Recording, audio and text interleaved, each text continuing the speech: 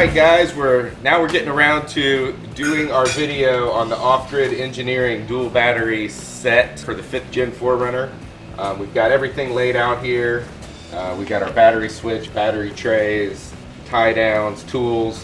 Um, I think we've got all the tools we need. Uh, we got a 10, a 12, a 13, 14, and a 15 millimeter open end wrench, sockets, uh, got a couple extensions just in case, and we have a 4 millimeter Allen wrench.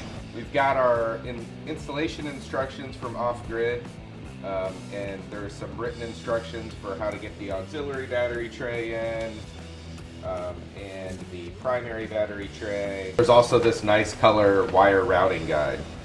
So we're reading through everything, getting comfortable with it, and we're going to show you how we uh, make all that happen. Other thing to point out is Matt Carter from uh, Off Grid. We had talked to him about the kit, and he noticed he had the older battery tie downs. Um, this is one of the first kits for the fifth gen 4Runners, so he sent us these new ones, and uh, I thought these guys are pretty cool, but these are wow, these are really really nice. They've got the uh, Off Grid Engineering engraved.